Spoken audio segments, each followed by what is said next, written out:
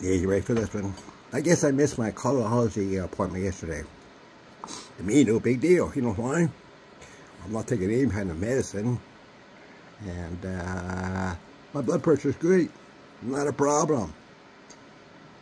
Why should I have to go in and see a butt ugly, overweight, out of shape, big ass, bigger belly doctor telling me that I need to take my high blood pressure pills and then look around the office, and that's all I see working there. is overweight, out of shape, big ass, bigger belly, split tails that need to go on a diet and exercise tell, tell me, tell me.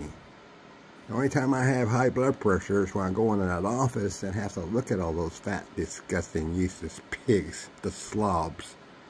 Yeah. You know, that's when my high blood pressure. Enjoy your day.